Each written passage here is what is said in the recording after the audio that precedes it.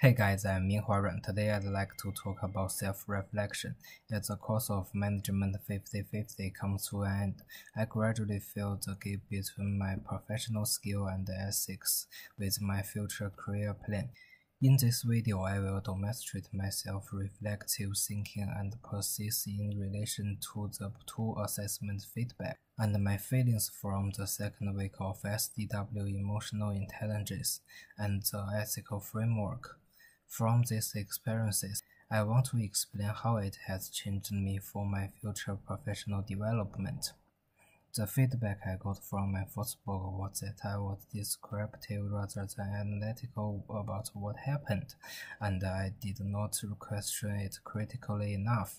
Therefore, in my second assessment, I focus on improve this aspect and I try to use what I learned in management 50-50 and analyze my case objectively and refine the problem of my first book. However, in the feedback I received on both assessments, I found that I was still not careful enough to complete the detail of the requirement. This made me fall into self-doubt because I had clearly checked the detail before submit, but I still saw the missing error in the feedback.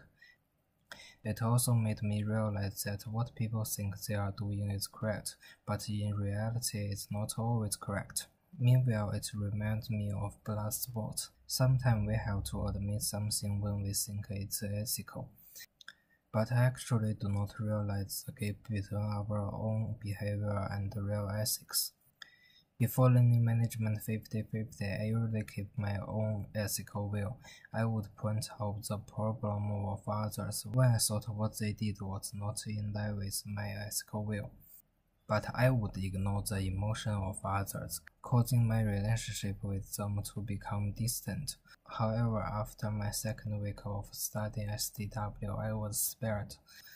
Now, when communicating with others, I will consider the use of emotional intelligence. I will maintain an emphasis, pay attention to the emotions of others at the moment, and avoid their negative emotion to affect the quality of communication. At the same time, I also control my own emotion, always keep the positive emotion and not be affected by others' negative emotion. I will be a patient listener, understand their idea, and realize my own shortcomings. Therefore, my communication with others has become more cordial. Many of my friends were willing to exchange opinion with me, which has given me a lot of new inspiration. This allowed me to be more effective in my study and work, and it also gave me great confidence to communication with others.